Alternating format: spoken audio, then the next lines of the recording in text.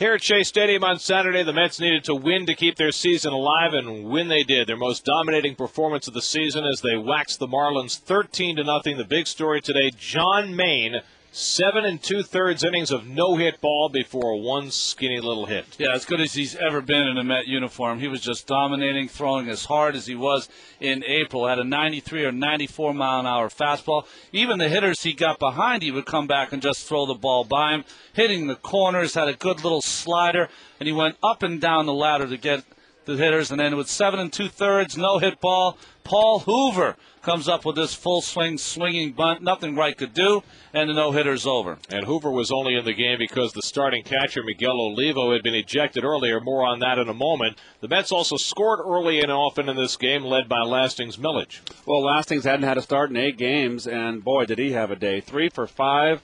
This was his first home run of the ball game. This was a two-run shot that really opened the game up.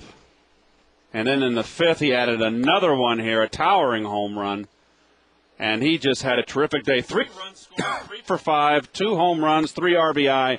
Great day for Milledge. Left-hander tomorrow and Dontrelle Willis. He'll be back in that lineup. And with the Mets having built a big league early, tempers flared in the fifth. Luis Castillo, who already had three hits on the day, was at the plate when all of a sudden uh, Harvey Garcia got conveniently wild. Well, Garcia missed with the first pitch and then threw this pitch behind Castillo.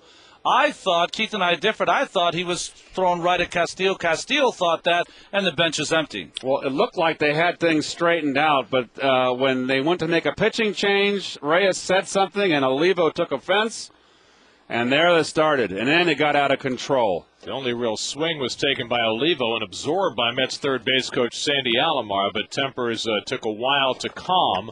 Olivo, the only man ejected. That led to Hoover being in the game, and isn't it ironic that Hoover winds up with the only hit off John Maine and joins that select company of opposition players who break up Met no hitters late the Jimmy Quallses and the Joe Wallises oh, and the Kip Pellos, and it, it goes that way sometimes. That's just amazing. So the Mets have still never had a no hitter, but they are alive going into Sunday. Uh, depending on what the Phillies are doing against the Nationals late Saturday afternoon, the Mets will either be even or one game behind going into the final game of the season. Tom Glavine against Dontrelle Willis on the CW11 on Sunday afternoon.